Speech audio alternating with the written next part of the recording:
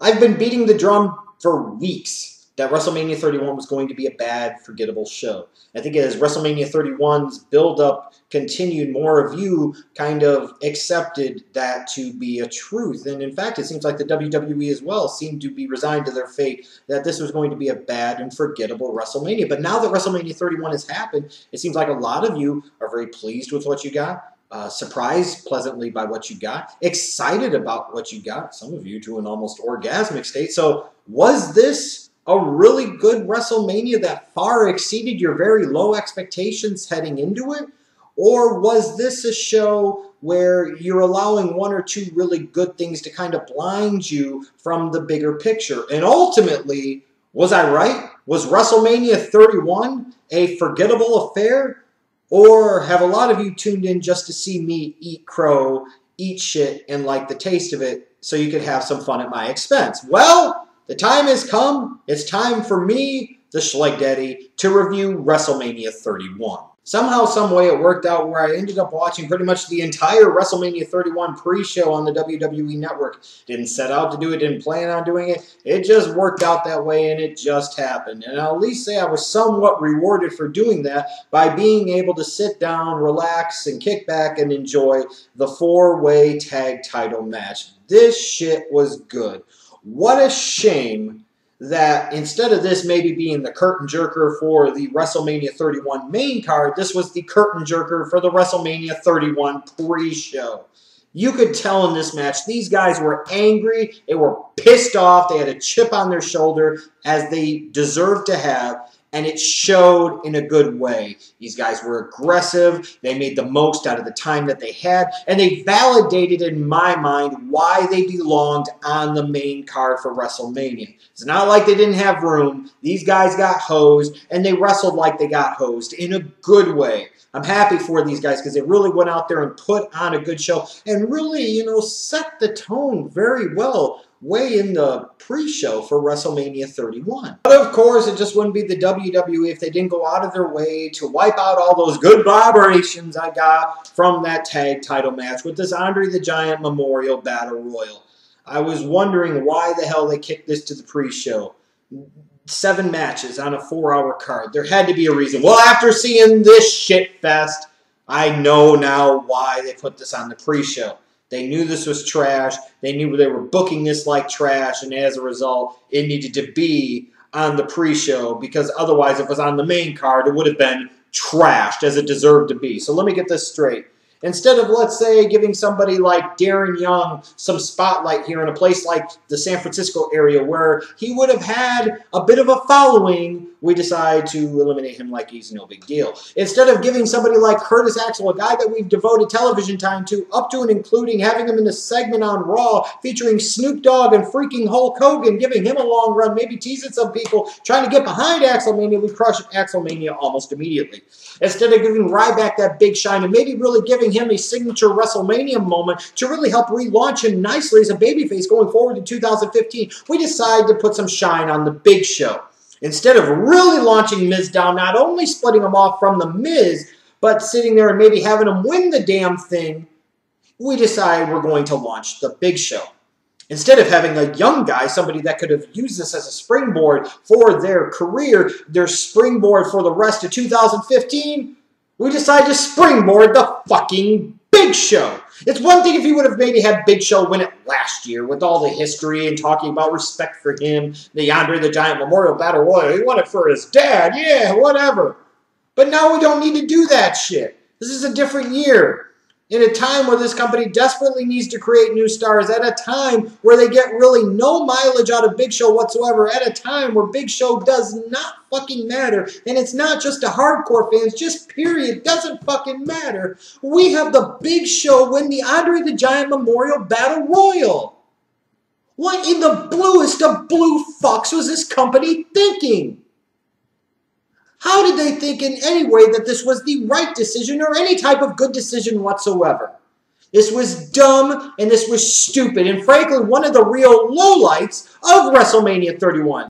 Now, many reviewers that you'll see will talk about how they care about things other than the in-ring action on a pay-per-view, but the only thing they'll ever freaking talk about is the in-ring action on a pay per view. That's why they get to the spots and who won, who lost, the booking decision, and the star ratings, and that's about it. Well, when it comes to WrestleMania of all shows, it's about more than just the in ring action. It's about more than the flips and the kicks and the bumps and the jumps and the high spots and all of that crap.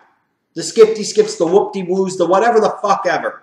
It's about more than that. WrestleMania is the granddaddy of them all when it comes to pro wrestling or sports entertainment. This is supposed to be the biggest. This is supposed to be the brightest. And this is supposed to be the best. And that's why when it comes to a show like WrestleMania, I talk about those things outside of just the in-ring action because they are just as important, if not more so, in terms of setting the tone for what I'm actually experiencing as a viewer of the event. And when it comes to that overall experience and some of those components outside of the in-ring action, for WrestleMania 31. Frankly, I think the WWE was very lacking. Honestly, the first thing that came to my mind as I tuned into the WWE Network to watch the pre-show was the fact that I realized they're out on the West Coast. It's afternoon. Based off of the time zone they're in, it's pretty much going to be light out for almost the entire freaking show. And I remember the last time the WWE was in a similar situation. That was WrestleMania 9. Yeah, exactly. Well, when it comes to WrestleMania 31, I think one of the big problems they had was their sunshine problem. And this is something, frankly, that I should have been wizened up to and been able to talk about here before the show actually happened. This is something that we should have seen could have been a potential problem because, frankly, I think it was a very big problem and really hurt the overall viewing experience and enjoyment of WrestleMania 31. I think, frankly, both for the people watching there at Levi's Stadium in Santa Clara and for the people like me watching via the WWE Network at home. I mean, you've got fans paying two to three thousand dollars for ringside seats Yet they have to cover their eyes in order to see what the fuck's going on in the ring 15 feet in front of them. The LED lighting that's all around the place looks like shit. It looks stupid in the sun. It doesn't pop. It doesn't jump out and grab you like that type of lighting should. I mean, I grant you, I like the feel sometimes of having an outdoor show. And this felt like one of those old WCCW type of shows that they used to have in the old Cowboy Stadium back in the early 80s.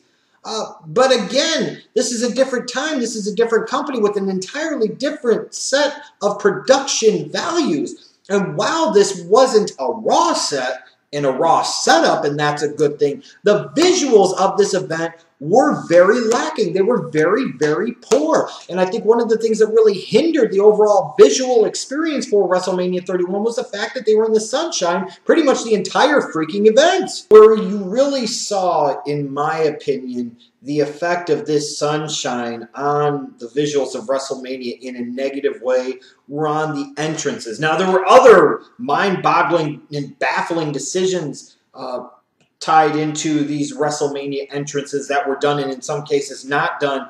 But one of the things that really hurt the entrances was the fact that it was in daylight pretty much the entire time. Like you look at Sting's entrance. Not only am I wondering what the hell this Japanese crap that he's doing is, it's the fact that it's Crow Sting basically with some red mixed in, but he's coming out in broad freaking daylight. It just didn't work. It didn't feel right. Triple H and whatever the hell he was supposed to be doing, I would be back. Please never bring this shit back again. He's supposed to be the freaking Terminator. Newsflash, that movie's gonna suck.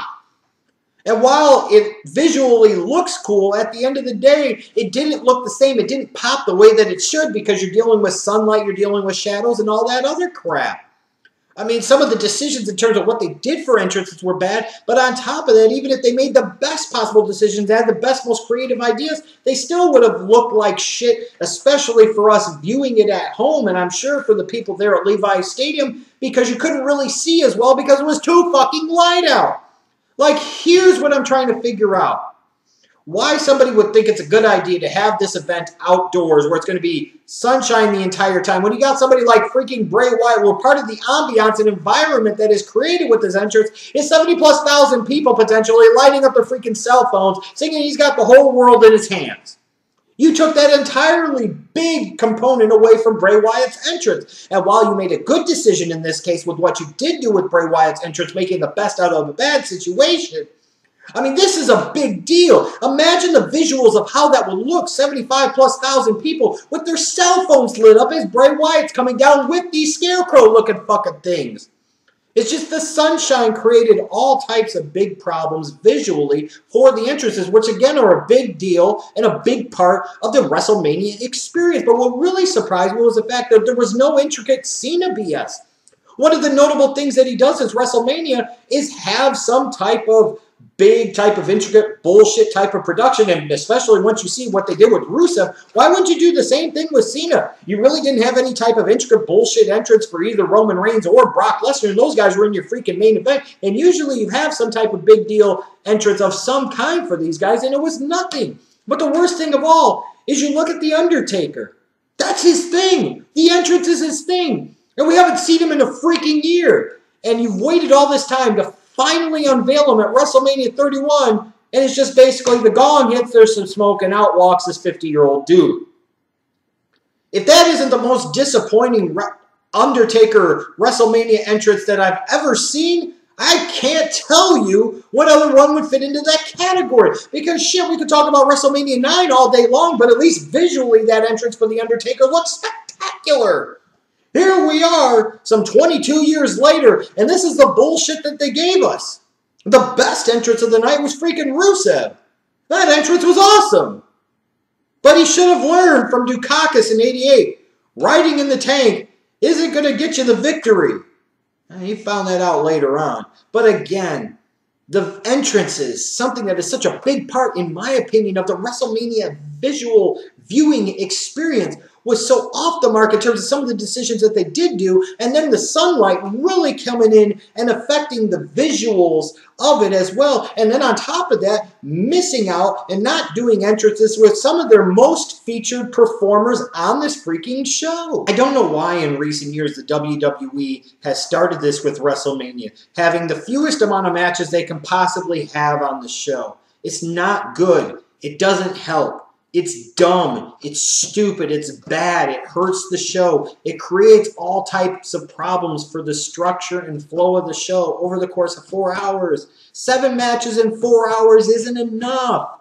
That's stupid. That's ridiculous. Because here's what happens every year. They do this shit at WrestleMania.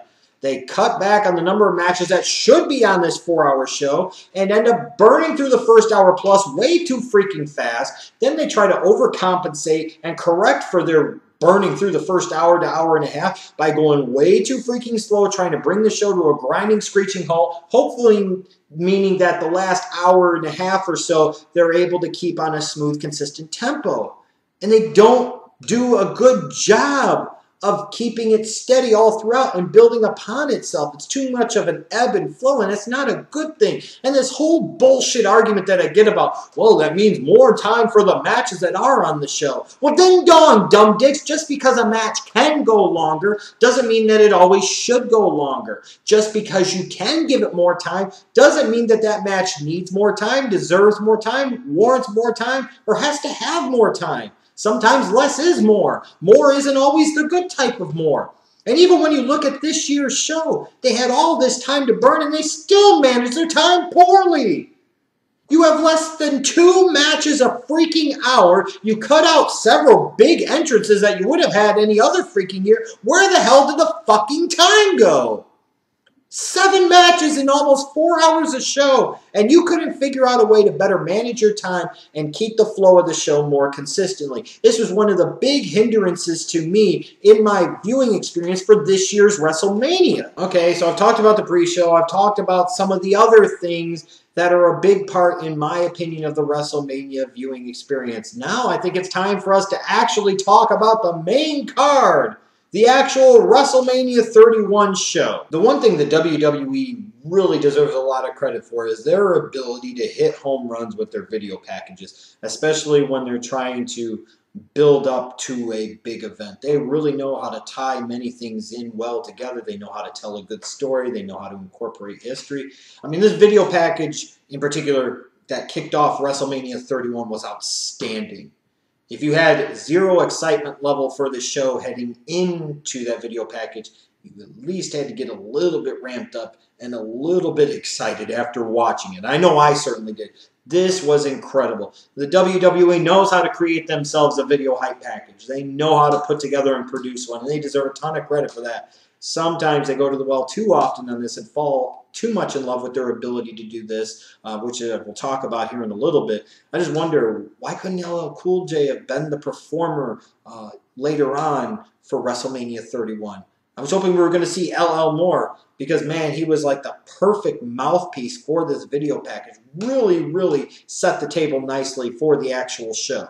So the actual show kicked off, not surprisingly, I think, with the IC title ladder match. This was the match that had to kick off the show, and it's the match that did. And I was looking at this match and expecting it to be some crash test dummy type of affair with big spot after big spot, just being one big whoop in your face type of match for 20 to 30 minutes. I thought this was going to be these guys sitting there, especially the guys like the Ziggler and the Bryans and the Ambroses of the world, saying, man, fuck this shit, us curtain jerking here at WrestleMania. We want to show we could do better. We want to show that we could do more and that we deserve more and that we deserve better. The fans deserve better. Everybody deserves better. Well, I can certainly tell you this. I've seen better and I've seen a lot better not only just with opening matches at WrestleMania, but in particular with ladder matches in general and ladder matches at WrestleMania specifically. There was way too little done in far too little time. I don't understand with four hours pretty much available to you why you felt you had to condense this crap down, I think, into right around 15 minutes. It was just way too short. You got all of these guys, you have all of these ladders, you have all this shit you could do. And they didn't do half of it. I don't know if they were under marching orders to sit there and not go too far over the top, or they just wanted to play it safe because they were already on the WrestleMania show and maybe they didn't care because they were only curtain jerking here at WrestleMania. But this match should have been a whole lot more than it actually was. I was surprised just how mediocre this was. Now, surely many are going to talk about this being great and awesome because there were some extreme spots, but even these so called extreme spots weren't all that extreme. The best spot of the entire thing was Ambrose getting thrown out uh, the ring onto the ladder, and then he was out the rest of the freaking match. At the end of the day, the right guy won with Daniel Bryan. Um, but even the way he won was stupid. That finish was fucking stupid. And don't give me that whole Japan crap. Well, maybe there's a reason it's done in fucking Japan and it's not done here in the States because it doesn't work here, because it was stupid. And in particular, it was stupid how the production truck decided to go to the camera angle that shows Dolph Ziggler and Daniel Bryan clearly not connecting with any of these damn headbutts at this most climactic of moment over a second tier title at WrestleMania. I'm fine with Daniel Bryan winning. But he really didn't even do much in this match. They didn't even spotlight him all. They didn't even give him the right type of shine. They didn't give Dolph Ziggler the right type of shine either, and maybe they shouldn't have with that ridiculous looking tail he had. And yeah, exactly. But the right guy won, but the match was fucking stupid. And in particular, the finish of this match was fucking stupid. This is supposed to be some big type of crazy spot fest that just dominates and sits there and grabs everybody by the balls and pulls them. And it didn't. The few matches on this card that I was really looking forward to was Randy Orton versus Seth Rollins because I thought this definitely had a chance to have some match of the night possibilities. It had story that had been carrying out for months heading into it. You know, I wasn't a big fan at all of the build up towards WrestleMania 31 in this match. At the end of the day, I thought that these guys were going to go out there and really strut their stuff and really be given the time to own the night in some ways at least be one of the parties that really helped this show and be a real positive part of the show. And it was placed perfectly on the card. I mean, this just had a lot of things going for it heading in. Unfortunately, what it didn't have going for it was the WWE because the WWE and their own stupidity creates a circumstance where they undercut what could have been a really damn good and special WrestleMania match. Because just as this thing was getting going and it was getting good, it was over is a victim of WWE's horrible time management. I have no idea why this match didn't have at least another five to seven, if not ten minutes. Because just as they were really starting to get into their story, just as it was really starting to get moving, it was over. I mean, the right guy won, in my opinion, based on especially what happened at the end of the night. Uh, and you had a great, memorable WrestleMania moment type of finish. But at the end of the day, this match was too short, and that's inexcusable. You only had seven matches on the fucking card.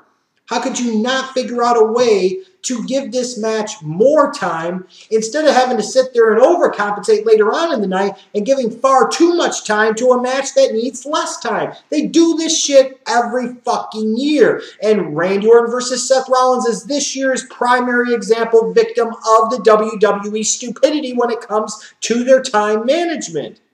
This could have been so much more. It could have been more. It should have been more, but it wasn't more. At the end of the day, you want to know what this felt like? Just a really good Raw main event. And that's great if you have a Raw and you need a good main event. Man, this would have delivered. This would have knocked the people's socks off, especially with that finish. People have been tweeting about it all night and into the next day. But the problem is, this is WrestleMania.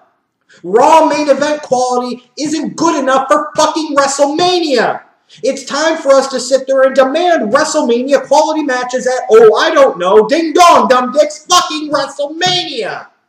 Oh, and by the way, there was one other thing that was going to play out throughout the course of the entire night.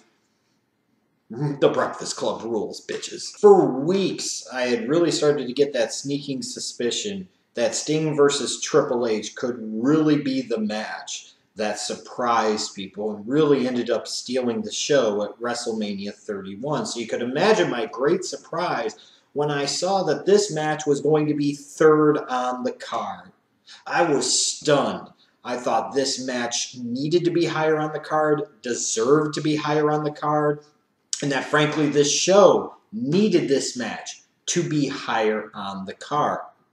But it was like the WWE sent this out third on the night because they needed a match to slow the tempo of the show down, to slow the WWE down because they knew they were repeating mistakes of previous years. So every year they do the same damn thing, and they did it here. And it was also maybe a statement that they didn't have that much confidence in Sting to be able to go out and deliver a big time WrestleMania caliber performance, or maybe furthermore, they just didn't feel that Sting was all of that important.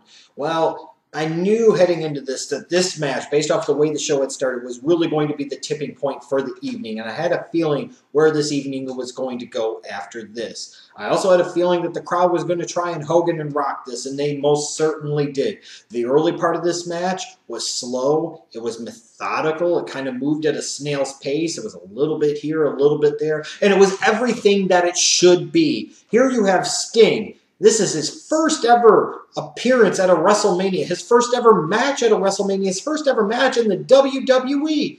And here he is, a guy in his mid 50s, coming to all these years of previous WCW accolades because we forget all that time he worked for that other company for Dixie. But here he was in good shape. He wasn't wearing a freaking t shirt. He looked good. He was moving around well. He was engaged. He was interested. You could tell the moment meant something to him, that it mattered. And that comes through as you're watching, especially on the WWE network. And you had Triple H doing what he needed to do, showing his in ring leadership showing himself to be the great in ring general that he has been for so many years, understanding the pacing that this match needed at the beginning, understanding what type of story they needed to slowly develop, and they were developing it, and it was going really, really well. The crowd was really organically getting into this.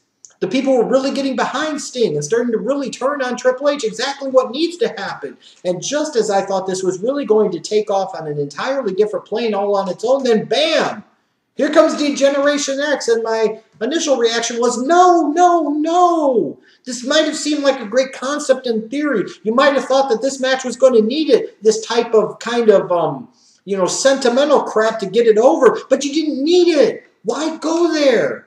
But then, man, once the NWO came out, I was like, fuck it. This just took shit to a whole different level. This just really set this match on another pedestal and was really having it geared towards being one of those timeless WrestleMania classics. I mean, this basically was the invasion angle that we never fucking got. Screw that abortion of a crap hole that we got in 2001 that was the invasion angle. Here's the freaking invasion angle here. You've got Sting. You've got the NWO versus Triple H and DX. This shit reeked of so many different levels of awesome. And I don't give a damn about it being overbooked. I don't give a damn about this or that because it worked, especially for older fans like me. And I know I'm not the only one that this really worked for because we're sitting there thinking about it. We're like, man, This is taking us back, and nostalgia always makes things so much better. And when you get a chance to vicariously live through this shit one more time, it really strikes a chord with you. This was going to be a classic. This was going to be memorable. This was going to be one of those WrestleMania matches like a Hogan and Rock that we were going to talk about for decades to come.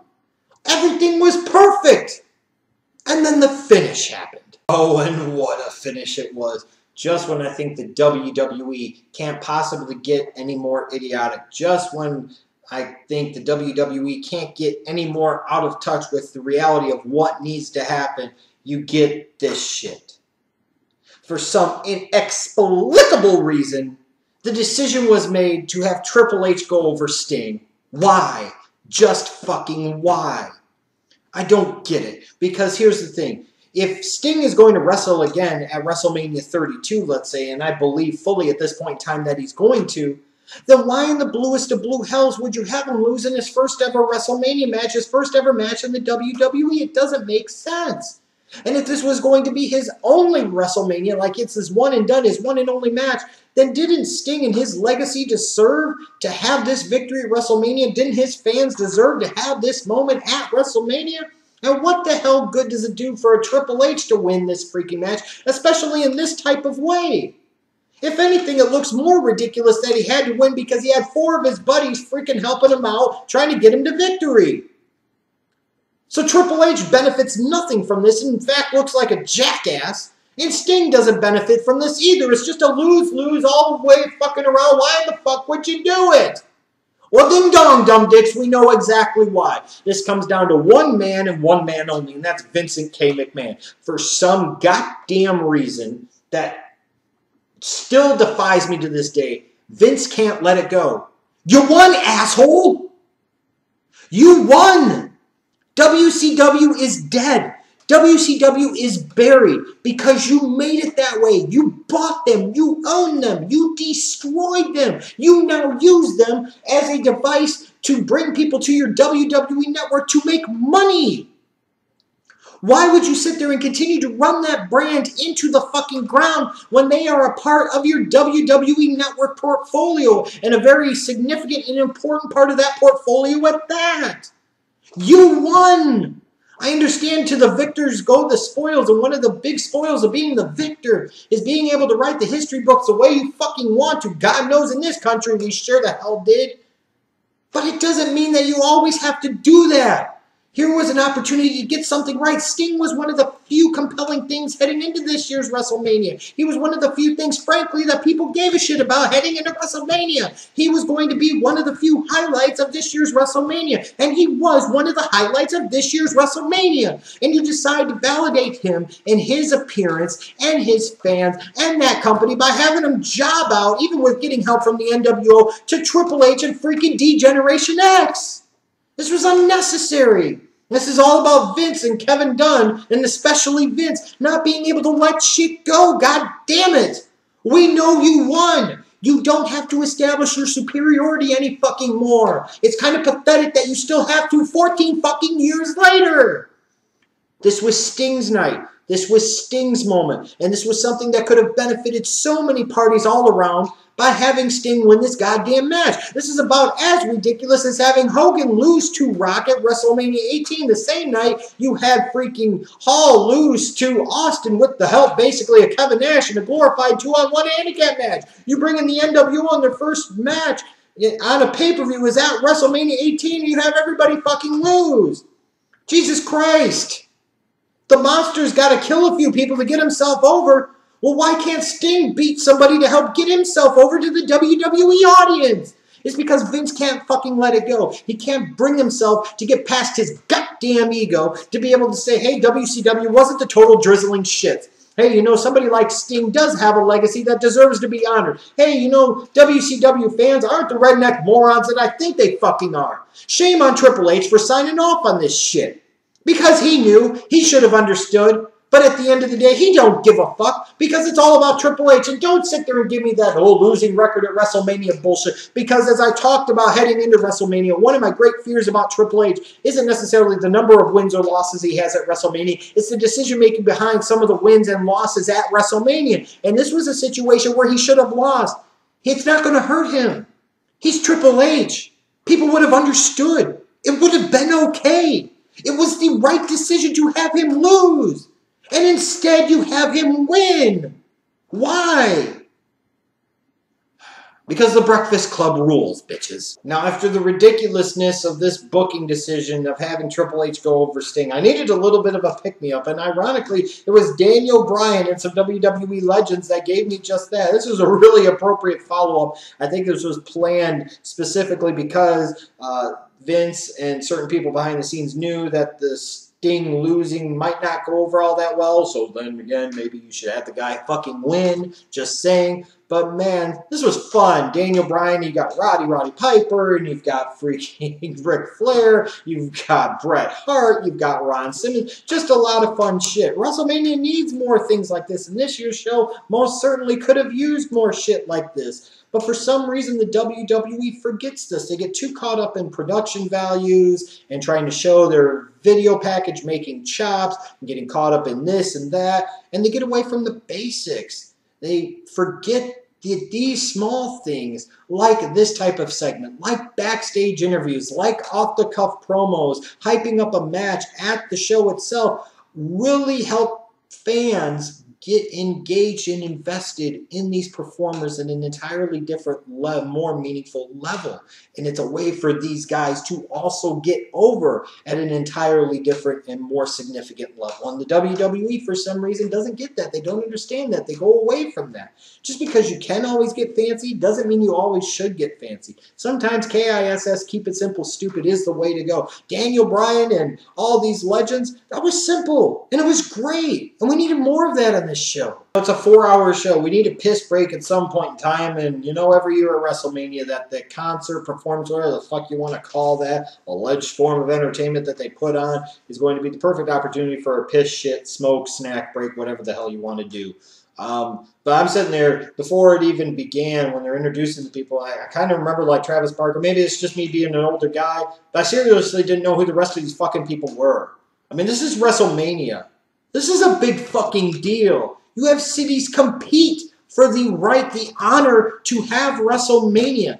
And these are the best lame ass acts you can fucking get. There have to be bigger and better acts out there. You would think with WrestleMania, this isn't something where the WWE should have to extend invitations. This should be something where groups and performers are beating down their door to have the right, the honor, the privilege to be able to perform in front of 70, 75 plus thousand damn people watching live, and then who knows how many people watching at home. You gotta have something bigger and better than this crap. And it seems like the WWE doesn't even try to make this good. They don't even care to try and make this entertaining. It was lame and pointless, and more lame and pointless than in previous years. They need to step up to the plate. If they want to make this a Super Bowl type of halftime show, then they need to make it a Super Bowl type of halftime show. They need to bring in real big time performers and do big time things with those big time performers. Not this lame ass pointless filler shit that they do that only gets worse as each year goes along. This is fucking WrestleMania. And this is the best you can get? Fortunately for many of us, the WWE decided to be extremely generous by giving us an extended piss, shit, smoke, talk, snack break by having the Divas tag match go on right after this concert. But all kidding aside, you only had seven matches on this damn card, and you couldn't even give this match seven freaking minutes. You give Divas a chance. You couldn't even give them seven fucking minutes. And the whole thing, you know, like AJ, she didn't even act like it was a big deal. Couldn't you break out something a little special? I mean, Christ's sakes, even Luke Harper had a new vest for WrestleMania.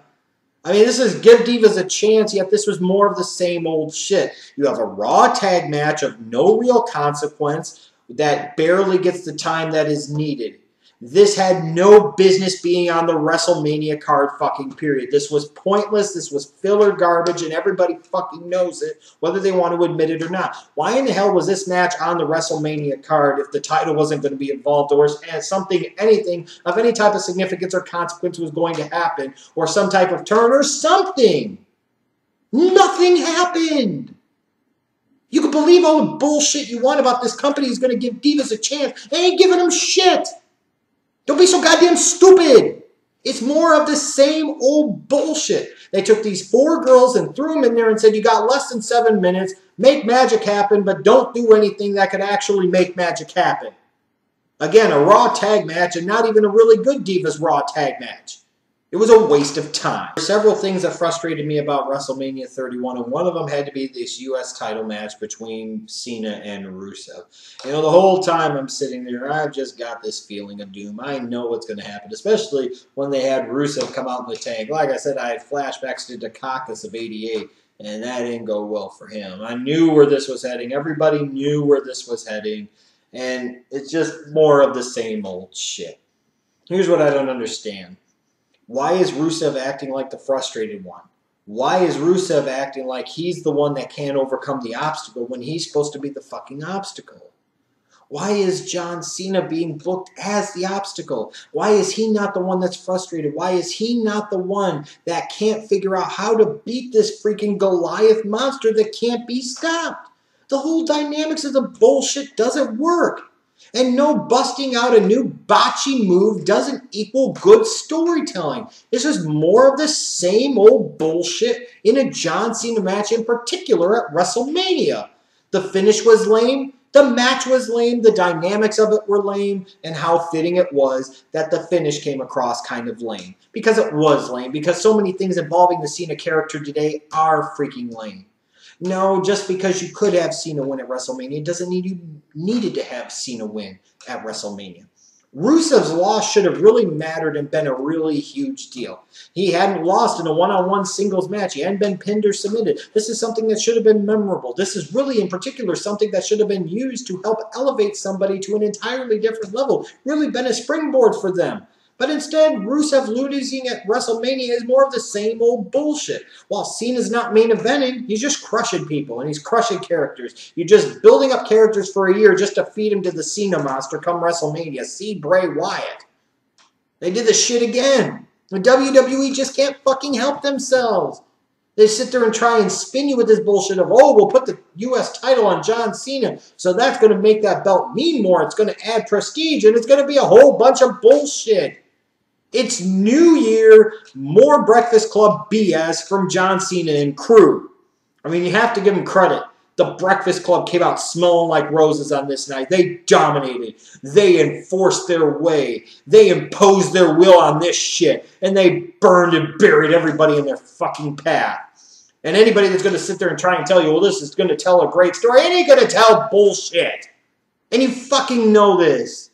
So stop trying to put a positive spin on it just to sit there and try and rationalize it and justify it because you don't like shitting on something that you'd want to enjoy watching. Well, at the end of the day, stupid is stupid. And this was stupid. At least if Cena was going to win, the dynamics and the storytelling of the match could have been better. The match was a miss because John Cena's character is a miss because everything the WWE does with them is a fucking miss. And having Rusev lose in this kind of half-ass way is another big miss. I understand sometimes that technology can be stubborn and technology can create all types of problems. But the fact of the matter is the WWE's been doing this WWE network for over a year. And I'm not going to sit there and excuse them for some of the problems that they still have from a technical standpoint when it comes to the quality of audio and video and playback capabilities of the WWE network. The video quality for this show, for me at least, was very off and on throughout the night. I hadn't had this problem with the past couple of shows, but I really had a problem here with WrestleMania. And that's bad because this is your biggest show of the year. This is where you should be firing on all cylinders. I don't want to hear the excuses about how many people were fucking watching this shit. I don't want to hear this excuse. I don't want to hear you're still new at it. You've been doing it for over a fucking year. Figure it out. After the U.S. title match, my feed went back to the finish of Sting versus Triple H. It jumped way back in freaking time, Quantum Leap style. I was expecting Dean Stockwell to come with this fucking thing and tell me where the hell I was and what universe I was and what my purpose was for being there. After 13 months, these problems are inexcusable. And to borrow from a great movie, The Princess Bride, these problems are inconceivable. How could you not figure this out? How could you not have your ducks in a row? How could you not have this working better? And I know I was no, by no means the only person that had a problem with this. And this was a problem. This is not good. And this again hurts the overall viewing experience for me of WrestleMania. And it must be a part of the equation when grading the show. When I saw Stephanie and Triple H out there, I'm like, oh God, they're trying to pull some Vince shit and bask in the glory of the record they set at a venue that's been open for less than a fucking year now. And most certainly they did. How about that? Triple H was just in this huge, great battle with Sting, and there he is a little over an hour later coming out no selling it like no big deal in a freaking suit, sitting there and basking in the glow. And it basically was sitting there, to me anyways, and saying, you know, fuck Sting, fuck WCW, we are doing our own shit. We're great and we're awesome. And as soon as I saw them out there, I'm like, why the hell are these guys out there? They've got to be going somewhere. I'm like, oh God, they're already in WrestleMania 32 mode for God. And that's certainly what it was. It's fuck WrestleMania 31. Sting doesn't matter. Sting's in the past. It's on to WrestleMania 32. Here comes The Rock. Man, The Rock got a massive pop. That's for damn sure. And we clearly know now what is probably main eventing next year's show.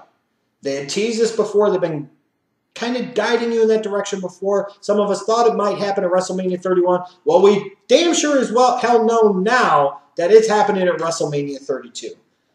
And The Rock was The Rock. He was glorious. Stephanie was Stephanie, and that's all fine and good. Although there's always one problem with Stephanie, and that is as a female authority figure, you're limited in what the males can do as a terms of repercussions or retributions towards that female authority figure which in this particular case they didn't have to worry about because The Rock milks it so well, works it so well to get Ronda Rousey involved. You had to know at some point, once The Rock got out of the ring and was starting to walk out, I'm like, yeah, he's going to Rousey. And as he walked that way, I'm like, yeah, he's going to Rousey.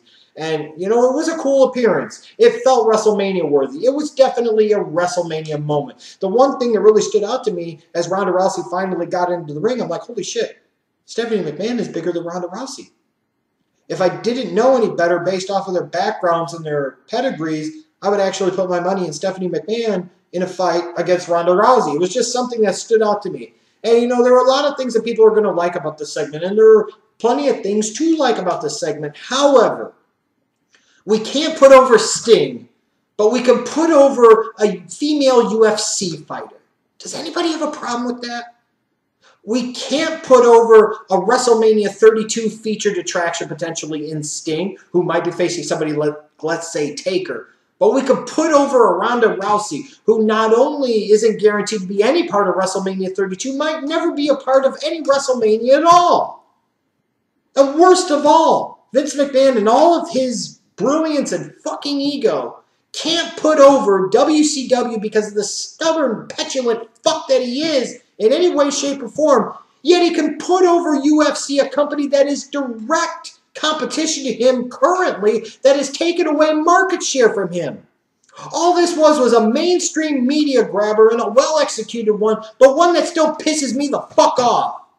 We can put over Ronda Rousey in the UFC, but we can't put over Sting and we can't put over WCW. Fuck this shit. One thing I thought I would never ever say about a Taker match or a Taker appearance at WrestleMania is meh. But wouldn't you know, that happened this year. Bray Wyatt versus The Undertaker. Too little, a year too late. This match was, you know, weird, odd, kind of surreal, and really not in a good way you're trying to establish everything between these two having an issue in that one match and it just doesn't work. It just doesn't click the way you might have hoped and envisioned that it would. You know the nostalgia of having taker come back at wrestlemania you need more than that especially now that the streak is freaking over it's a lot different than when you had it at WrestleMania 20 when it was Taker sending messages to Kane and Taker didn't appear until WrestleMania. Well, it was Kane that helped Vince bury Taker alive at Survivor Series 2003, and these guys already had years of history before that. So you could bring Taker back to face Kane blind at WrestleMania 20, and the dynamics freaking work. Well, with Bray Wyatt, you have none of that. You can have Bray Wyatt doing all these promos and saying all this shit for weeks and weeks and weeks, calling this guy out. But at the end of the day, that doesn't necessarily make for the dynamics of a good feud, a good rivalry, or an interesting, compelling story to be told. And there most certainly, to me, wasn't a compelling, interesting story that was told here between Bray Wyatt and The Undertaker. Listen, at the end of the day, Taker's one of my favorites of all time. I respect this man more than anybody in the history of the business. I wanted to get behind this match. I wanted to get behind him. I wanted this to matter. I wanted to care. I really, truly did. I wanted this to be a spotlight moment for Bray Wyatt. I wanted this to be a bit of a redemption piece for The Undertaker. If there was one match and one thing of all that I wanted to have to eat shit and like the taste about it with WrestleMania, it was this match. I desperately did because Taker, as a wrestling fan, means that much to me. But the crowd chanting for Bray Wyatt at any point in time shows just how off the dynamics were of this match. It never really clicked. It never really got over. It finally started to tell a story, but that was at the finish. I will admit, when Bray Wyatt goes back into his crawl and then Taker sits up and looks at him, that's an awesome moment. That's a cool moment. And I know some of you are going to sit there and say, you know, well, Wyatt hurt himself before the match, so he did the best that he could. And some of you are going to sit there and say, well, you know, this is so much better than what we got with Lesnar and Taker last year. Well, at the end of the day, let's look at it this way. Bray Wyatt loses again at WrestleMania. This is how you validate one of your top young stars. It was a lose-lose situation. I fucking told you it was. Uh, Taker won, but did anybody really win for this? Even the pop for Taker winning, it was like he kind of got it at the end because the fans understood and they respect Taker, but it just didn't work. Just because it was better than Taker and Lesnar doesn't mean very much. Taker and Lesnar was terrible, like almost iconically horribly terrible. If Wyatt and Taker is a step or two or three or four steps up from that, that still can mean it's a bad to mediocre match. And that's exactly that, what this was. It can be better than shit and still not be good. This is an example, just like with so many things today in the WWE, where you lower your expectations so much to where good is even below mediocre or average, and you fool yourselves into thinking that it's something more because, again, you want to justify why you are continuing to watch and support this product. Well, at the end of the day, this wasn't that good. It was slow. It was awkward. Yes, it was better than Taker versus Lesnar last year at WrestleMania. But what the fuck wouldn't be? I mean, that was so bad on so many different levels. We're actually using that as a purpose to compare a point of comparison to this year's match to try and justify this thing as being anything other than weird, odd, surreal, not in a good way, mediocre to borderline bad. Look, you could tell Taker worked hard to get to this point. You, Taker came out and put out a good effort but he still looked old. He was slow moving. The match was slow moving. The storytelling dynamics really didn't click, even though they tried. It just didn't work. It was worth a try, I suppose, even though it was a lose lose situation all the way around. And who, at the end of the day, who really benefited or won from this match? So, with what all that had happened leading up to the main event, I ah, was afraid of what I was going to get. I said, oh, God. I'm like, please don't suck. Please don't suck. Please don't suck. Well, suffice it to say, this WWE World Heavyweight Championship match between Roman Reigns and Brock Lesnar and everything involved with it most certainly did not suck. This was the main event that this show needed. Maybe not the main event that this show deserved, but this is the main event that this show needed. This was easily the best executed segment of the show by far. Not even close. If you think this, that, or anything other than this was the best executed segment of the night, you're an idiot. Because this was incredibly well done. The WWE made the best of a bad situation that they themselves once again had created. Now, with that said, we need to stop giving the WWE credit for trying to fix problems that they created to fucking begin with. It's one thing to fix it in hindsight. It's another thing to have the genius and intelligence and the vision and the understanding and the ability to listen to your fans and the momentum of what is going on to understand what's the right thing to do the first time. It's not about getting it right, it's about getting it right the first time. So don't sit there and praise the WWE for calling the right audible. They shouldn't have been in a position to fucking audible to begin with. And for the second year in a row, they had to audible because they don't know what the fuck they're doing. But in terms of the match itself, first between Reigns and Lesnar, my God, I loved how stiff this was. It was like they told Brock to go out there and fuck him up, teach him a lesson, make this shit look real because that's the only way this shit is going to get over. And Brock was like, yeah, suplex city, bitch. And then Roman's like, I got something for your ass. How about some Samoan stud in your fucking eye? this match was fucking sick in terms of its physicality. Now, it was slow and it was plotting. And again, I don't quite understand why Brock gets such a free pass when you talk about five moves of doom. It's basically suplex city shit, bitch. Well, that's pretty much summing up Brock's damn near entire move set. But damn, the match dynamics worked. Everything that needed to be accomplished was accomplished.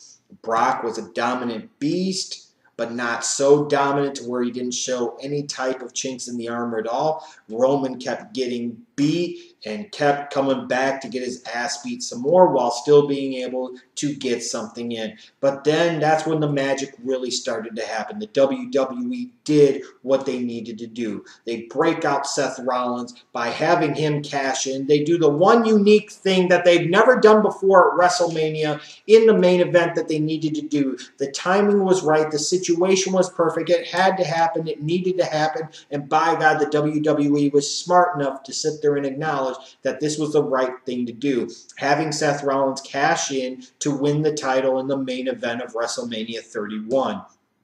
What does it do? It has Brock lose without getting pinned. It protects him. He's still a monster. You have Reigns lose, and he's frankly much better off for it because now the crowd can sit there and say, he ain't that bad. He jobbed to freaking Rollins. He didn't win the title WrestleMania. He wasn't that bad. I mean, I'm never going to like him that much. I'm never going to be a huge fan of his, but is he really that bad? Is he really to Cena levels? Because shit, he sat there in his first ever WrestleMania main event and job. What did Cena do in his first couple of WrestleMania main events? Act fucking exactly. You got Roman Reigns eating a pinfall to Seth Rollins as opposed to John Cena beating JBL in 2005, Triple H in 2006, and then Shawn Michaels in 2007. There's a big, big difference. Let's keep that in mind.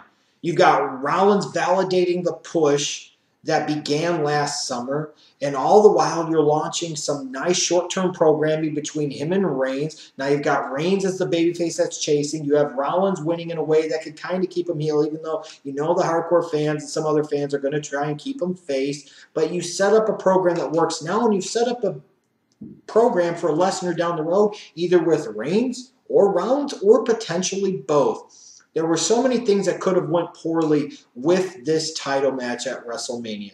This is exactly the type of main event I talked about the WWE needed almost three months ago because this was the only main event they had.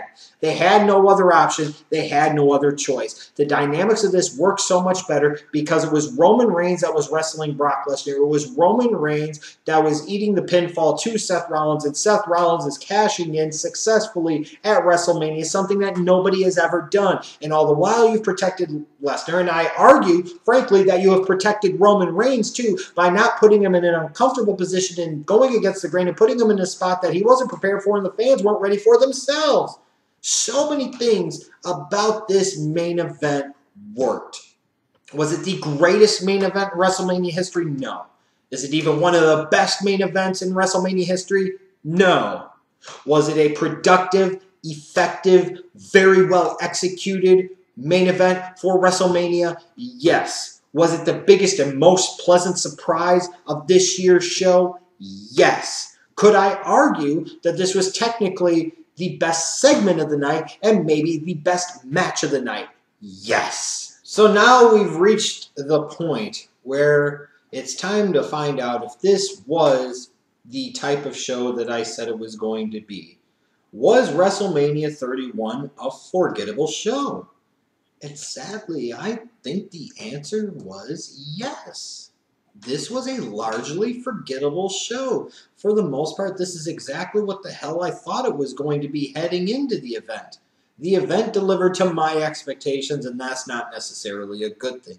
I know this won't will certainly be a popular opinion. It will get the flaming keyboard fingers of fire going, but I think I've made a pretty good case throughout the entirety of this very lengthy, in-depth review as to why I feel this is a forgettable show. One or two highlights doesn't make a good or great show automatically. Let's get that out of the way. Also, a great ending, like let's say a great main event with a great finish, doesn't whitewash the rest of the problems with the show away there was a lot of crap. There were a lot of mistakes. There were a lot of poorly executed things, a lot of bad decisions made throughout WrestleMania 31.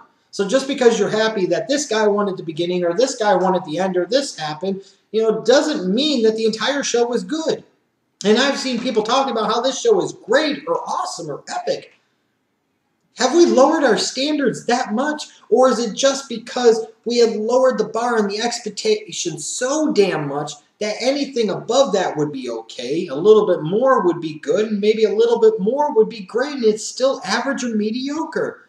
Let's look at this. You had seven matches on this card, and most of them were forgettable. The IC title ladder match was mediocre. Orton and Rollins, great finish, but the match was just really starting to get going and could have been so much more than what it ultimately was. It was a Raw main event, not a WrestleMania match.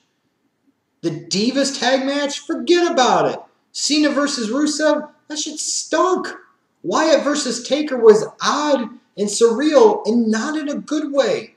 And then you look at Sting versus Triple H, what it could have been. And that is an example of where the finish does freaking ruin it. You know, where you can sit there and say you have a two hour movie. If the first hour and 45 minutes suck, but the last 15 minutes are really good, does that mean it was a good movie? Not particularly. But if you have, let's say, an hour and 45 minutes of a really good movie, and then the last 15 minutes, the finish sucks, are you going to remember it as a bad movie? Probably, and you should, because at the end of the day, it's about the finish. It's about how you piece everything together. And when it comes to Sting and Triple H, that was so ridiculous. And the worst thing of all is after losing, after getting screwed, Sting shaking hands with Triple H. The only way that should have been booked to happen was a sign of respect by Triple H after Sting had beat him. The time management on this show was atrocious. The structure of the show was very poor. It was the same crap we've seen in terms of the past few WrestleManias. It was way too quick, and then got way too slow, and then it evened out towards the end. The whole visuals of this event were very lacking. They missed on several big time important entrances. The Breakfast Club reigns supreme. We talk about so many things changing. A lot of this bullshit remained exactly the fucking same. Questionable booking decisions like Big Show winning the Andre the Giant Memorial Battle Royal. You've got freaking Triple H going over Sting. Yes, frankly, Cena beating Rusev was questionable. Frankly, Taker beating Wyatt was questionable the same way as Wyatt beating Taker would be questionable. WWE basically, for all intents and purposes, to me, gave you one or two things, like they always do, that suck you in, that sit there and give you a reason to continue to have hope. But just because you're happy that Daniel Bryan won, and just because you're happy partly that Seth Rollins won, but even more importantly that Roman Reigns didn't win the title to end the show, doesn't make it a good show. This is exactly the type of show I've come to expect from the WWE a lot of crap, a lot of mistakes, and one or two things that you're expected to overlook everything else because of. And I'm not going to do that. I'm not going to stand for mediocrity and sit there and try and pass it off as anything other than such. If that's your coping mechanism to sit there and continue to justify why you watch this company and why you watch this product, then that's fine. That's your coping mechanism, but it's not mine. And I'm not about to sit here and be disingenuous and lie to all of y'all, sitting there telling you that this show was something that it wasn't. How can a show with several forgettable matches that was structured poorly, that the visuals were bad, that the time management was atrocious, can be sit there and considered a good, very good, or some cases, Jesus Christ, a great show? Have our standards dropped that much? Seriously. This was a largely forgettable show. Frankly, the only thing I'm going to remember about this show long term is that RKO that Orton used to win, the fact that Sting lost to Triple H, and then the main event. That is not a good show. That is a largely forgettable show because God knows I'm going to be spending a lot of my time trying to forget that Sting versus Triple H ever fucking happened. I've got the main event, and that's basically it. That's not a good show. That's a forgettable show. And if you really, really step back and think about it for a second, just because you're happy Seth Rollins won, just because you're happy Roman Reigns didn't win, that doesn't give it good enough reason to say that this was a good show. Because you know deep down that it wasn't.